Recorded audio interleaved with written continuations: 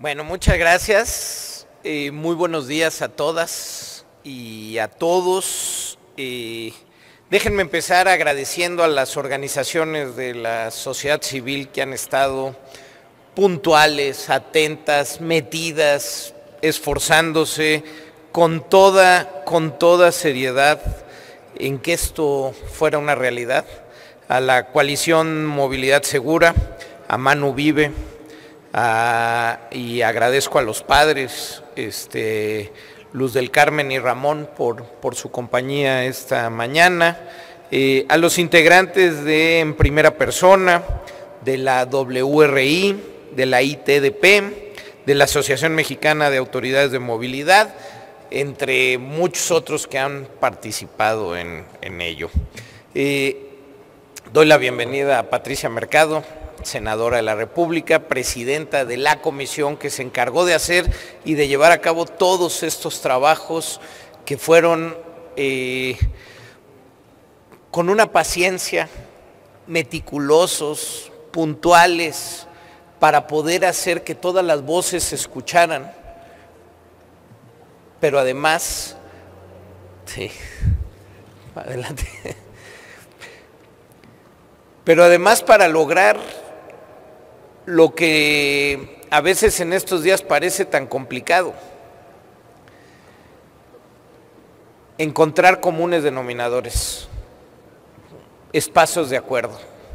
Por eso es que celebro este, que esté mi compañera diputada Leida Alavés, que Leida fue, y hay que decirlo, fundamental para eh, en la legislatura pasada lograr que la movilidad se integrara a nuestra constitución como un, como un derecho.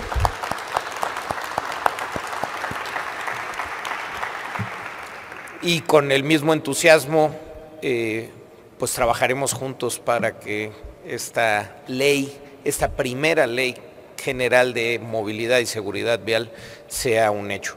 Agradezco a mis compañeras y compañeros de la, de la Comisión de Movilidad el, que hoy nos acompañen y agradezco mucho a mi coordinador y mis compañeros de bancada que nos hagan favor de, estar aquí esta, esta mañana. seré muy breve porque además nos tenemos hoy que ir todos a trabajar en este último día de sesiones en el Senado y en, y en esta y en esta Cámara, pero, pero quiero ser muy puntual en dos aspectos. Lo primero, resaltar el hecho de que por primera vez en la historia de nuestro país puede existir un ordenamiento que sea el paraguas de la reglamentación que a nivel local tiene que existir en términos de poder generar herramientas para que el derecho a la movilidad sea una realidad. Porque el derecho a la movilidad es pieza fundamental para el ejercicio efectivo de otros derechos. Para que una niña o un niño vayan a la escuela y reciban educación, su derecho a la educación, pues van a necesitar llegar, van a necesitar moverse para que un paciente llegue a un hospital, van a necesitar moverse. Y esa movilidad tiene que ser segura, tiene que ser efectiva, tiene que ser incluyente, tiene que ser equitativa, tiene que ser con las mejores posibilidades de que se haga de manera eficiente, efectiva, insisto, segura, sustentable. Hoy en día la movilidad tiene que entenderse como lo es un derecho para ejercer otros derechos. Pero además, esta ley general, esta primera ley general de movilidad y seguridad vial, nos permite la posibilidad de tener un marco normativo a nivel nacional que reduzca de manera efectiva los hechos viales. Porque no es normal que personas fallezcan en temas que absolutamente son prevenibles. No es cierto que son accidentes, son hechos que podrían haber sido evitados. Y todos los días en nuestro país fallecen más de 30 personas por hechos viales. Eso lo podemos evitar. Es la causa de muerte número uno entre las y los jóvenes de 15 a 29 años. Eso lo podemos evitar en este país. Si logramos generar el derecho a movernos para acceder a otros derechos y logramos reducir los riesgos que pueden implicar un no deseado incidente que nos lleve a la muerte o a una discapacidad, con eso estaremos las y los diputados, lo que ya hicieron las y los senadores, poniendo nuestro granito de arena por construir en este país una mejor posibilidad para todas y para todos. Por eso me emociona tanto esta entrega simbólica, porque nos une, porque nos lleva a encontrarnos en las posibilidades de hacer de México un lugar más seguro y un lugar donde podamos ejercer a plenitud nuestros derechos, empezando con la posibilidad de tener movilidad. Muchas gracias, bienvenidos, buena mañana.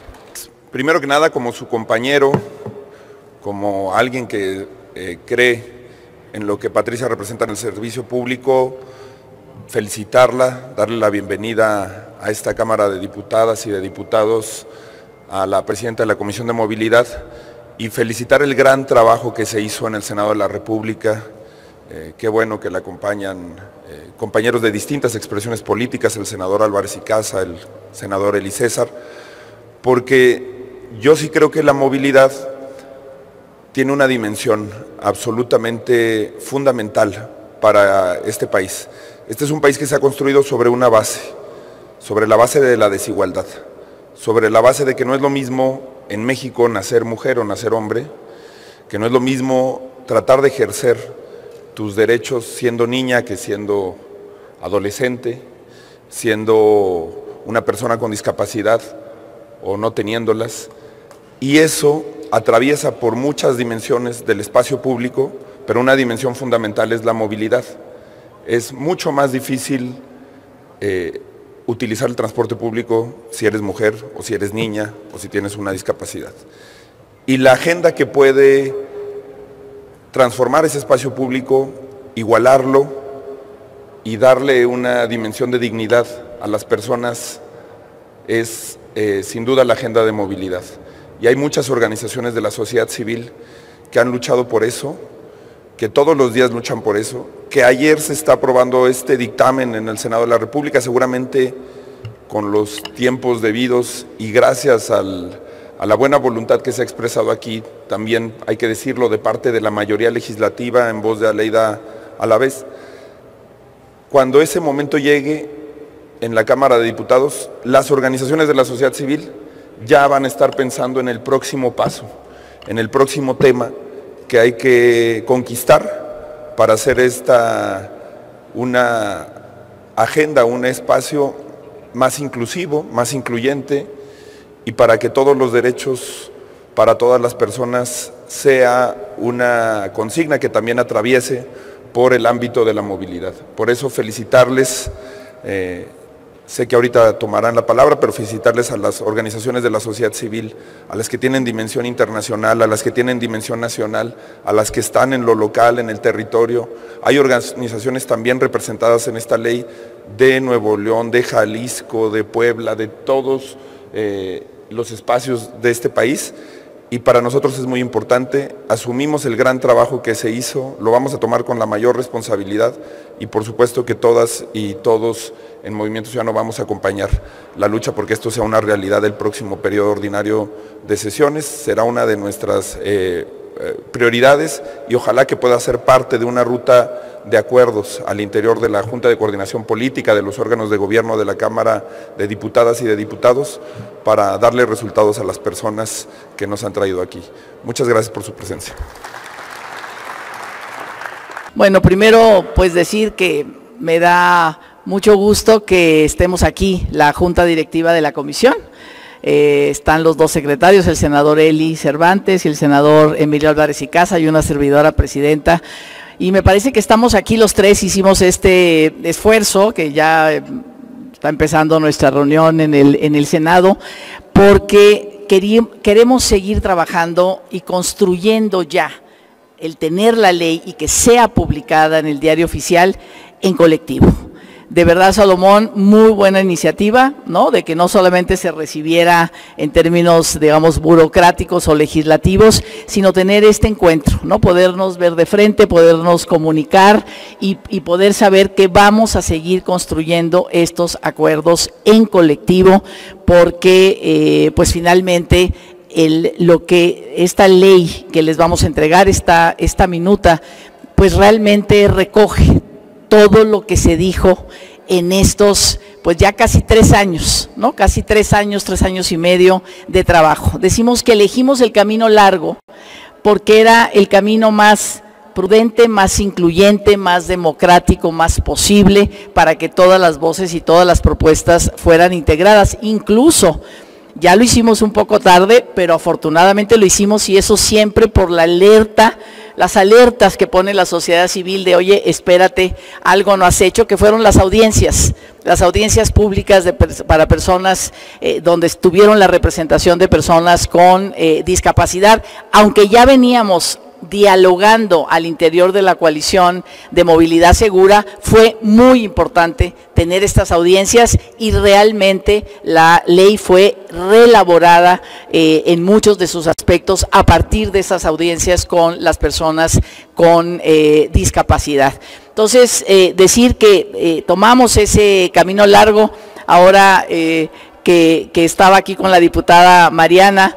Ella, cuando hicimos el foro en Veracruz, donde fue Oaxaca, ella era secretaria de movilidad de su estado, ahora es diputada. Entonces es pues muy bien, un estado realmente que ha avanzado mucho en, en cuestiones de movilidad. Como decimos, no estamos inventando el hilo negro, ¿eh? o sea, también eh, hay 15 estados de la República que ya tienen sus leyes de movilidad y que ayudaron con eso también a hacer esta, esta ley, porque no, no, eh, la, la idea también no es imponer eh, imponer, eh, eh, digamos, reglamentación imposibles de cumplir, sino realmente, como se ha dicho aquí, este es un piso mínimo, de aquí para arriba, que vuelen los estados, que vuelen los municipios, ¿no? Para garantizar más este, este derecho. Un atrevimiento que me parece muy importante en términos de justicia social, que ya lo, lo marcaba el senador Eli, que eh, fue propuesto y nos convenció un senador, el senador por eh, Querétaro, eh, el senador Regilberto Herrera, sobre el tema del transporte público gratuito para niños, niñas y adolescentes para que lleguen a la escuela de zonas rurales e insulares. Eso me parece muy importante porque finalmente cuando, digamos, cuando se piensa en la inversión pública en términos del espacio público, pues pensamos en las grandes carreteras, ¿no? Y bueno, pues ahora ese gobernador, ese presidente municipal tendrá que decir, a ver, mi prioridad es que los niños y las niñas lleguen, que no caminen más de un kilómetro para llegar a la escuela, ni los adolescentes tampoco. Finalmente, la movilidad, también se ha dicho, y, lo decimos, es la llave para acceder a los derechos, como decías tú, Salomón. Es decir, para acceder a la educación, para acceder al trabajo, necesitamos movernos. Y esta movilidad no tiene que ser riesgosa, no tiene que ser prolongada, tiene que ser de calidad. Y eso, con los criterios, los principios, los lineamientos que tiene esta ley, no hay pierde. O sea, no hay pierde para poder decidir una política pública o una legislación local, no hay pierde si no te sales, digamos, de estos, de este eh, marco para tener una movilidad que efectivamente tenga el objetivo de evitar esas 44 muertes eh, diarias de, de, estas personas, ¿no? Que decimos estas personas que salen, que salen de su casa y que ya no regresan porque murieron en un hecho vial que podía ser evitable.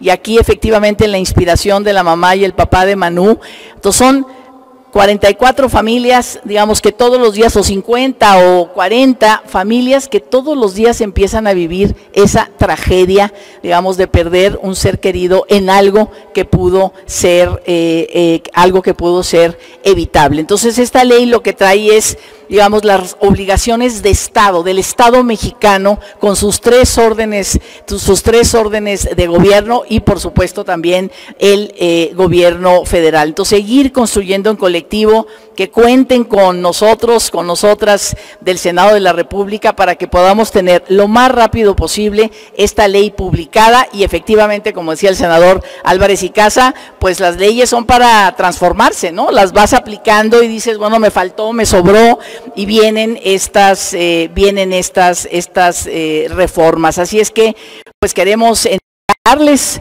formalmente este, este documento al presidente de la, de la Comisión de Movilidad de aquí, de la, de la Cámara de Diputados y Diputadas, pues para que arranquen ustedes, para que ustedes vuelen también y lo más pronto posible, pues puedan encontrar un acuerdo y que esta ley sea publicada. Muchísimas gracias y pues aquí voy a entregar el documento.